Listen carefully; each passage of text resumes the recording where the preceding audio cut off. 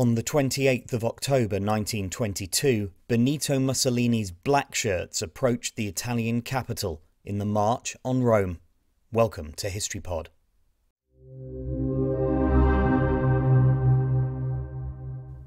In the aftermath of the First World War, Italy was facing economic instability, political fragmentation, and a sense of national dissatisfaction.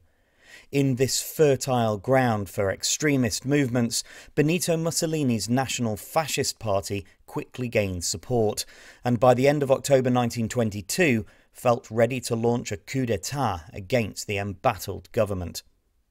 Mussolini and his followers, the Blackshirts, embarked on a calculated and audacious march to Rome.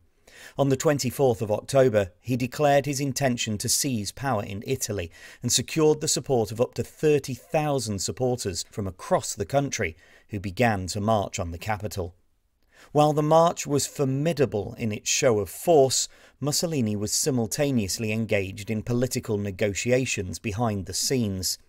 The Liberal government, fearing the potential for widespread violence and civil conflict, initially sought a compromise. However, as the black shirts arrived at the outskirts of Rome on the 28th of October, the Prime Minister, Luigi Facta, ordered a state of siege.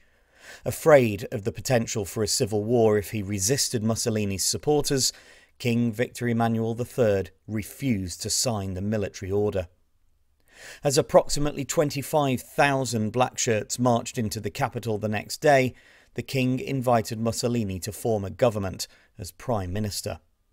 Although the march on Rome was therefore not a violent coup, the combination of calculated political manoeuvring backed up by the threat of upheaval was enough to secure a fascist government in Italy.